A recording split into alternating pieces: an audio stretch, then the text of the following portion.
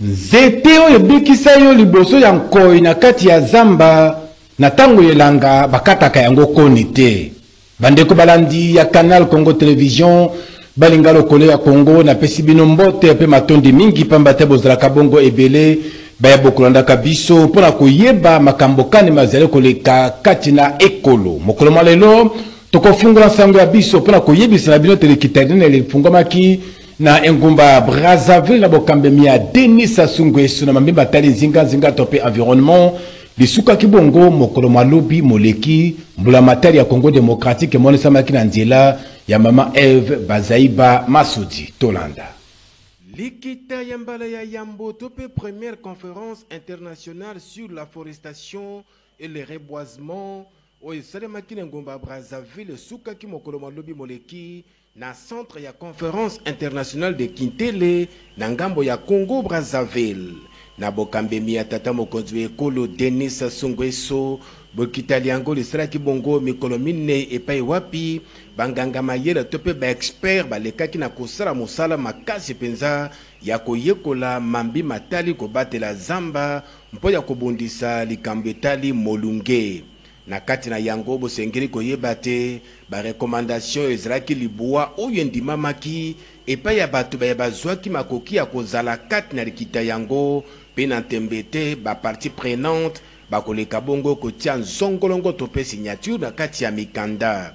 Botikala koyeba te likita ya mbala eye ezali bongo cadre malamu mpo ya renforcement ya cooperation epai ya bite. Onte ya bikolo mpo ya kofandisa politiki oyo ekopesa nzela na makoki na kati ya ba communautes locales epai ya ba peuples autochtones mpe kotombola makambo ndenge na ndenge. Mama Eve Bazaiba Masudi, oyo ayaki na nkombo ya tata mokonzi wa Ekolo Congo democratique, Felix-Antoine Tshisekedi Tshilombo, na ntango azwaki maloba, alekaki na kotalisa litomba monene oyo zamba ezalaka na yango.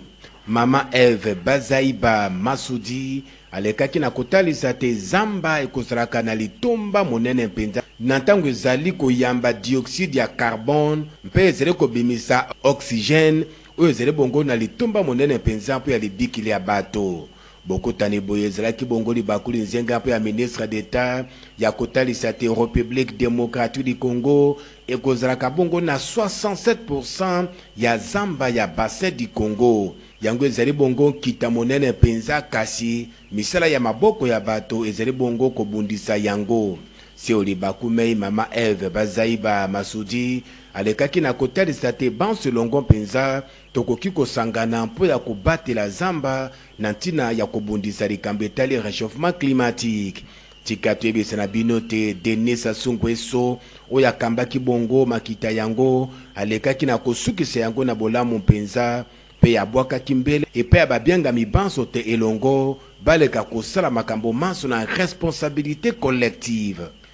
Botikala koyeba te makambo maye malobami o ntei ya likita liye, bakomema yango na ngambo ya Nations unies, na ntina te ba partenaires financiers baleka bongo kotia maboko mpo ya lisungi ya molongo mobimba. Lokole ya Congo. Ndakisa ya mbongwana. Na sango etali bongo bateli mibeko to pe ba deputes nationaux na ngambo ya Palais du peuple kuna bosengeli koyeba te mwana mboka Vital Kamerhe mokambi ya Assemblee nationale azali kobunda etumba makasi mpenza mpo na kotombola diplomatie parlementaire kati na ekolo Congo democratique mpe bikolo bia Afrika mpe molongo mobimba. Tolanda. Na ntango bakeli mibeko ya ekolo bazali na loi to mpe vacances ya parlementaires, na ngambo ya Bureau ya Assemblee nationale, bango bazali kopema te. Na bokambemi bwa Professeur Vital Kamerhe, President ya Assemblee nationale, bango baponi eleko eye ya bopemi mpo ya kokolisa diplomatie parlementaire kobanda mokili mwa Afrika mpe libanda ya mokili mwa Afrika. Talentina Eye, mokambi molandi wa yambo to mpe premier vice-president ya Bureau ya Assemblee nationale, professeur Jean-Claude Tshilumbayi, azwami na mobembo n'ekolo Angola, nzokande rapporteur ya Assemblee nationale, professeur Jacques Jolie Sengekeli, azwami na mobembo ekolo ya Afrika ya Sudi mpe na nsima akokende n'ekolo ya Canada, mingi mpenza n'engumba Montreal. Epai na epai, bazali kobeta nsete makasi mpo na likambo etali bitumba biye ekolo Rwanda ezali kobundisa Republique democratique du Congo. Bosengeli koyeba te bakotombola lisusu likambo yango makasi na nzela ya Professeur Vital Kamerhe kobanda mokolo ya mwambe kino mokolo ya libwa sanza ya nsambo na tribune ya Assemblee parlementaire francophone wapi misala ya kolengele to travaux preparatoires Esilaki kobanda uta mokolo mwa misala mitano moleki na engumba Montreal. Yango nde esalaki te Profesere Jacques Joly esengekeli, epai wapi alekaki na kotalisa makanisi ma ekolo Congo democratique mpo ya likambo etali bitumba biye ekolo Rwanda na nzela ya M23 bazali kobundisa Republique democratique du Congo lokole ya Congo. Ndakisa ya mbongwana. Bapesaki mbano na bapulusi baye basalaka mosala kitoko n'engumba mokonzi Kinshasa, molulu ekambemaki na mwana mboka Jacquemain Shabani mondele mboka. Toyoka moko ya bapulusi ndenge atondisamaki n'esengo mpe alobaki boye liboso elobeli ya biso. Soki lelo bakonzi ba gratifier ngai, d'abord naza kopesa bango merci et cela montre que soki bakonzi batelemaka mpo na koreprime bizaleli ya mabe na kati ya corps na biso police de circulation routière lelo naza kosenga na bandeko na ngai bayeba ke kaka le meme bakonzi batelemi mpe mpo na koprime oyo nyonso akosala mosala loyalement à mettre de côté ba anti valeur oyo esilisi biso lokumu euh, au fait euh, raison ya présence na ngai awa ou bien événement oyo esalamaki mokolo moko comme d'habitude naosala mosala nakomi na niveau ya quartier 1 à la hauteur ya matankum de l'autre côté ya masina je vis une colonne de véhicules ezali koavancer na sens opposé à la circulation ou bien sens unique pendant que la voie ouverte na direction oyo azokende ezali dégagée Donc, il n'avait pas de raison Il y en dans sens opposé. Et devant le véhicule qui avançait lentement, il y avait des policiers, s'il vous plaît, en tenue correcte, avec les armes à feu. Oh Je dis, monsieur, vous n'allez pas passer par ici. Vous devez respecter la loi. Et ces policiers ont tenté euh, de s'imposer, mais je les ai dit que la force reste à la loi. Si vous avez raison, conformément notre code de la route, passez. Mais si vous n'en avez pas, avant de passer ici, soit vous m'écrasez. Moi, j'accepte la mort, mais vous, vous n'allez pas continuer à enfreindre la loi de cette façon. Et au bout d'un moment, la raison leur est revenue. Bah, na bah un sens normal. Alors Bililiwana. Liwana Baye bazalaki kozwa yango batindelaki bakonzi ya mboka. A mon insu s'il vous plaît, ngai nayebi te. Namoni kaka telefone babandi kobenga, babandi kobenga, babandi kobenga. Nasalaki yango na intention ya kosala benzu te parce que je n'en avais pas besoin. nga nakosala mosala policier place asala mosala azala na mposa ya benz te c'est comme ça ke ekomi ti epai ya bpm na ndenge lelo aye ko remercier ngai ko encourager ngai liboso ya corps mobimba ya la police ya ville ya Kinshasa avec toutes les autorités réunies. C'est ça euh, l'occasion faisant le larron.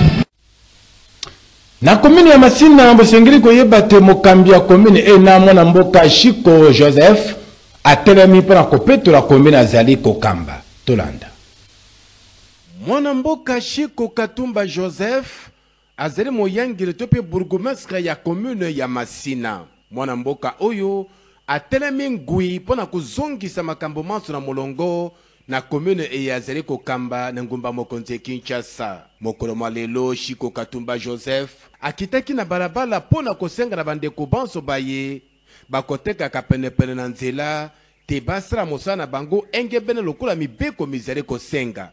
Elingi koloba te, moto moko te akoki koteka na kati ya nzela, banso basengeli kozala pembeni mpo na kopesa baleki nzela makoki ya kotambola ndenge elongobani. Seo libaku mei, Chico Katumba Joseph alekaki na koyebisa na bana mboka te moto na moto asengeli kotalisa mikanda miye leta apesa ye mpo na kosala mosala na ye kati na nzela na kimia nyonso.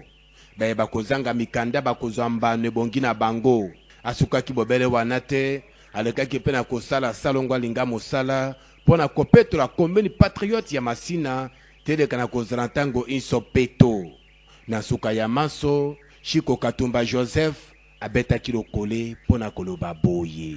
Topesaka merci na bana Masina mais pasi ezali kaka ke bana Masina balingi mbongo koleka bopeto ya Masina. Donc lobi toya koyebisa bango ke te, tolinga bopeto koleka, tolinga mbongo koleka bopeto te. Masina eza ya biso nionso. Topesana maboko nde tolobaka un seul doigt ne peut ramasser un caillou. Topesana maboko mpo na bopeto ya Masina. Tolobi samedi eza mokolo ya salongo.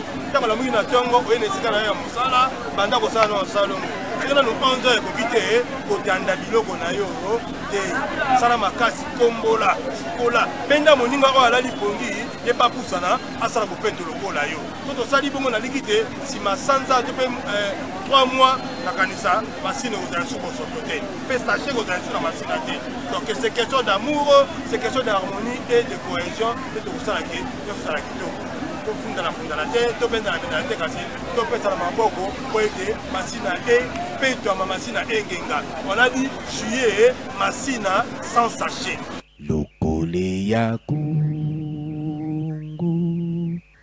ndakisa ya mbongwana Boyebi yango na malamu, mikolo ya poso nyonso topesaka bino sango ya motuya eye tolakisaki uta ebandela ya poso kino mokolo mwa lelo. Mpo na yango, bosengeli koyeba te mokolo mwa lobi moleki tolakisaki bino ndenge nini mwana mboka Jean Lucien Busa Tongo ayambemaki epai ya mwana mboka Constant Mutamba, ministre akoyangelaka mambi ma bosembo to mpe justice. Tolanda.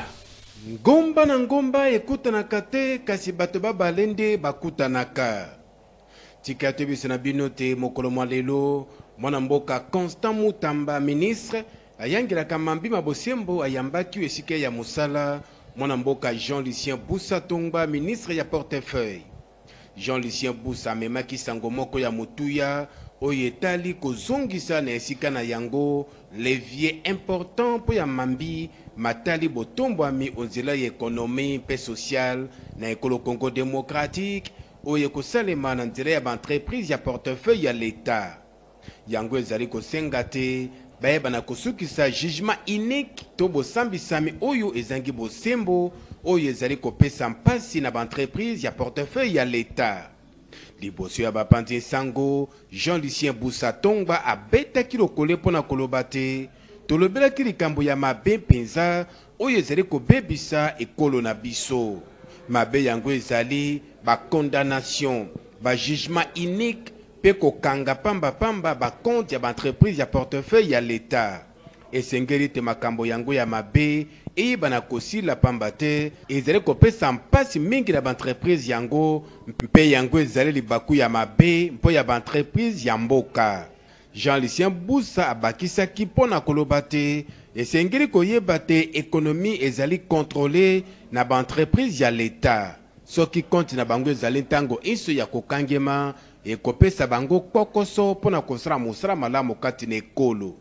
Tika toyebisa na bino te ba entreprise ya portefeuille ya l'Etat mosala na bango ezali ya ko assurer mpe kosala manso mpo na kotombola economie ya ekolo, tala ntina, Mwana mboka Jean Lucien Busa Tongba abetaki nsete makasi mpo na koloba te soki kaka makambo yango ekowumela, ekozala mpasi mpo na kotombola economie kati na ekolo lokole ya Congo. Ndakisa ya mbongwana. Se na poso eye, bandeko balandi, tolakisaki bino mokano moye ekolo Amerika azwaki mpo na likambo etali monyele mwa ekolo Congo democratique mpo na kotalisa te kobanda mokolo mwa lobi moleki kino mokolo mwa zomi na libwa ya sanza eye, lokito ya masasi ekoki koyokana te o monyele to mpe partie est ya Republique democratique du Congo. Lokole ya Congo, tomekaki komanyola mpo na yango na lolenge loye. Treve humanitaire oyo ekobanda mokolo ya lelo na ngonga ya minuit kino mokolo mwa zomi na libwa ya sanza eye tozali na yango, ezali na ntina ya kopemisa le parti au conflit, elingi koloba te epai na epai bakofanda kimia, lokito ya masasi ekoyokana te.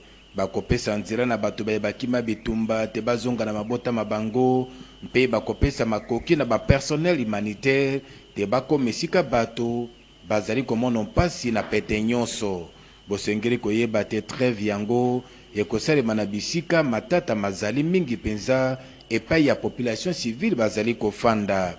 Tala ntina mwana mboka Patrick Muyaya, molobeli wa mbulamatari ya ekolo asembolaki yango mpo na koloba te ntina ya treve oyo ekobanda mokolo ya lelo, mwa mitano sanza ya sambo mobu moye, oyo esengamaki na ekolo Amerika epai ya ekolo Rwanda.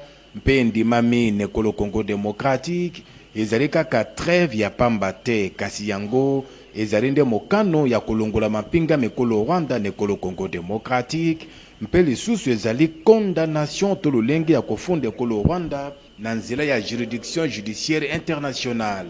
Tika toyebisa na bino te, yambo ya treve yango, lisanga ya Union europeenne azwaka mokano ya kokanga to ko geler mosolo mwa lisungi, Motango 20 millions de dollars americains moye mosengelaki kopesa lisungi na ekolo Rwanda. Bosengeli koyeba lisusu te nionso oyo ezali mbano ya molende ya tata mokonzi wa ekolo Felix-Antoine Tshisekedi Tshilombo mpe komipesa ya bana banso ba ekolo Congo democratique mpo ya makambo maye mazali koleka o monyele to mpe partie Est ya Republique Democratique du Congo lokole ya Congo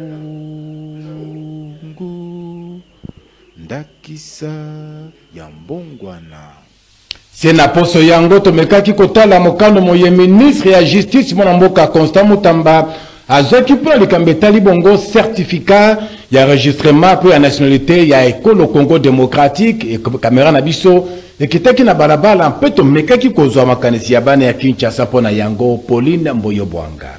Kolandisama na mokano ya Ministre d'Etat, Ministre ya Justice, mwana mboka Constant Mutamba ya kotalisa te, Yambo te mwana mboka nyoso ya Ekolo Congo democratique aleka na kozwa certificat ya nationalite congolaise, asengeli koleka naino na bureau ya Agence nationale ya renseignement mpe ya Direction generale ya migration mpo na kozwa avis na bango, pamba te esengeli kotelemela likambo etali infiltration okati ya ekolo. Mokano moye ya ministre ya Justice ezali mabe te, kolandisama na maloba ya boko bana mboka ya engumba mokonzi Kinshasa baye balobaki boye.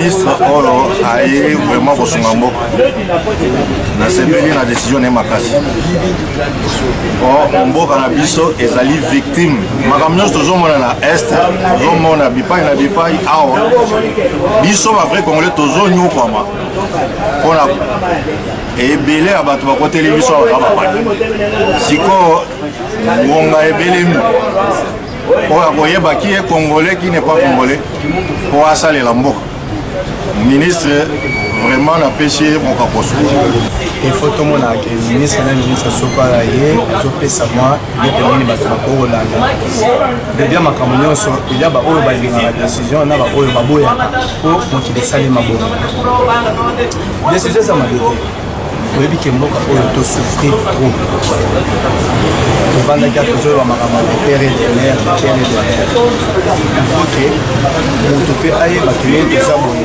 tozala ki toyeba ke toza moto ya mboka nini origine oyo eza wapi village na bino d'ailleurs mpo na ngai donc euh, aza ministre ya kofélicité omoni heure moko mpe bajeune bazalaka na innovation lisusu ya bien mpo na ngai il faut toyeba ke tozala mpe identifie tozala mpe na guichet moko boye oyo ezoyeba ke na servir na biso ke atosali problème babeti ndenge eza na poto ti babeti ndenge aza ozwa babeti mpa bamoni ke eza moto lokola ya congo ndakisa ya mbongwana Amesana kosepelisa bato ebele mpenza na nzela ya maboke, kasi mokolo ya lelo akomi na mpasi. Nani akosunga yandi Mosi? Toyoka ye ndenge alelaki liboso elobeli ya biso. Si na bino tala ka motema naza nango il faut ba recharger yango depuis na ya a tout cas ba tanga te ya vraiment ba ndeko na nga na sengi bo sunga ngai bo sunga ngai na zonga Afrique du Sud tenka na ministre ya finance Soki osinele nga ata dossier wana nzambe akobakisela yo ebele akopesa yo ebele nona na ndenge bapolisier bahumilie nga ondire naka esenga ministre yango orke naza fonctionnaire nalandi nde dossier na nga moko aya bozala kame en même temps un mois déjà yango eleki kuna rendez-vous na ye ezoleka bongo lelo oyo soki likambo ya mabe par exemple to souhaite te mm. ozomona donc yango wana pike wana après mbamona mona porta ya baliwa me nzambe aboyaki na bapriere ya bato je crois mama denise merci ya trop mama denise nyankeo na assistance wana ya ko asiki ba soins nzambe asungi abika mais maintenant tiko ka na ye ezosenga fo azongaka mpo na contrôle mm. ba à chaque fois aza na ba rendez-vous na docteur ete te mm. ozomona donc yango wana omoni tokomi na niveau tosala video peut-être na video message ekokende rapide mm.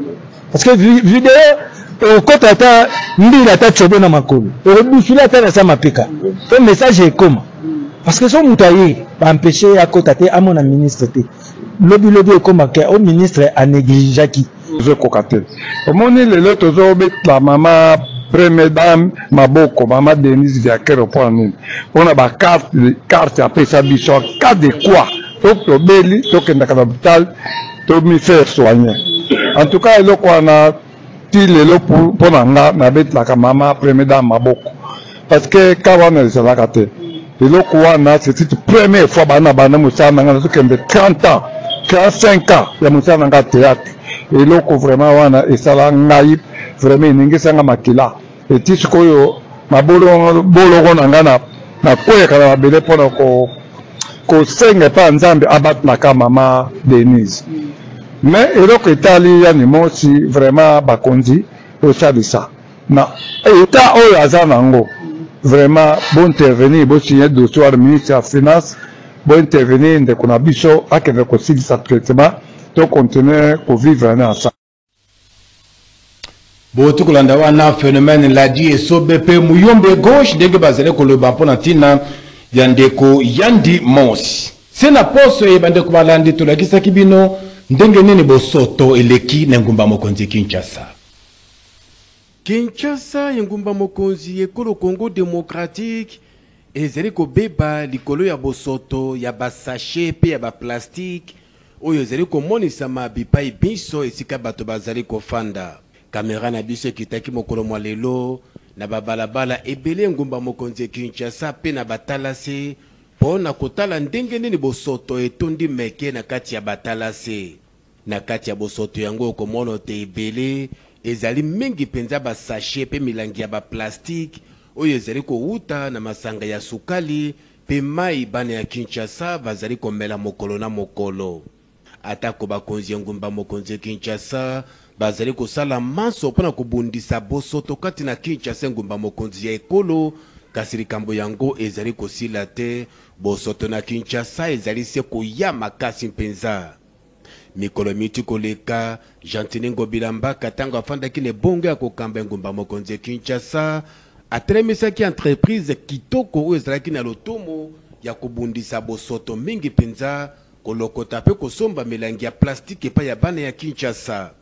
Kasi na moi ya lelo, bosengeli koyeba ete mosala yango ekomi na bolembu makasi mpenza zambi bosoto ezali komonisama makasi na batalase mpe babalabala ya Kinshasa, lokola bilili bizali kolakisa. Epai esusu, tika tokundolela bino ete bakambi ba engumba-mokonzi Kinshasa bazwaka mokano ya kobundisa mombongo ya koteka ba sachets na Kinshasa. Kasi na moi ya lelo, eloko moko esalema te. Sachet ezali komonisama bisika binso bana ya Kinshasa bazali. Na boye tokolikia te bakambi ya sika ya Hotel de Ville ya Kinshasa bakosala manso mpo na kobundisa likambo etali bosoto ya ba plastiques mpe ba sachets na engumba mokonzi ya Kinshasa ezali koyokisa bato mpasi mingi mpenza bisika binso bana ya Kinshasa bazali koleka bosoto ya sachet mpe ya plastique ezali komonisama. mosusu ezali kowuta na mimesano mabe oyo bana ya Kinshasa bakoma na yango, bayebaka esika nini bakoki kobwaka bosoto te, atako ekunde oyo ebongisami mpo na kobwaka bosoto ezali, kasi bandeko mosusu basalaka yango na nko, bazali kobwaka bosoto esika motema na bango elingi.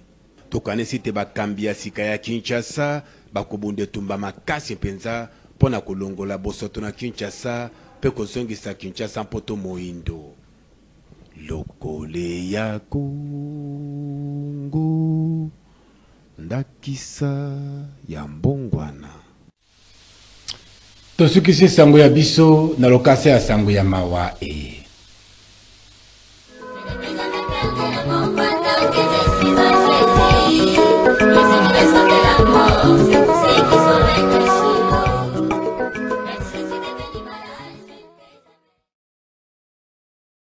Libota ya longwango bikela Olivier bazali na mawa ya koyebisa na bandeko, baninga mpe bayebani ba bango liwa ya kulutu wa bango ya mwasi, tata mwasi, mama kulutu, mama leki mpe nkoko na nkombo ya Mokwami Yaita Marguerite oyo atikaki nse eye o'mokolo mwa ntuku misato sanza ya motoba Mobu tozali na mwango mwa nkoto mibale na ntuku mibale na minei.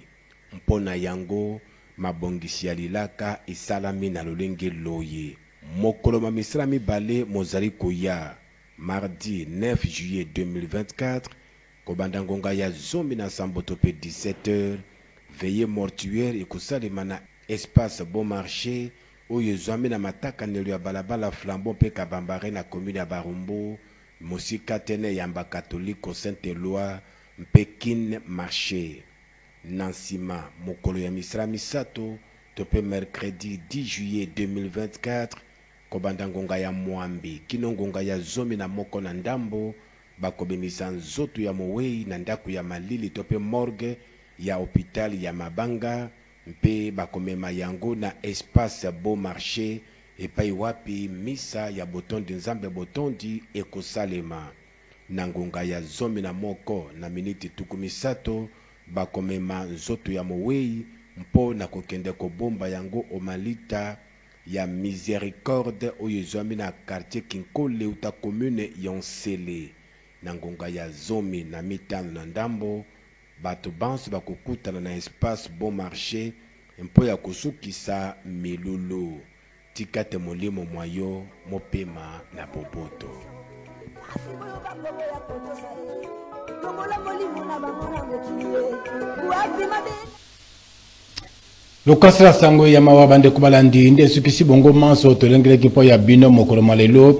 Matondi mingi na bino banso bozwaki libaku ya kolanda biso na nkombo ya Moron Jambe mpe Christian Banzolo na bokambemi ya Gisèle Etoko Ekuchu. Natombeli na bino banso poso elamu o mabota ma bino. Botikala malamu.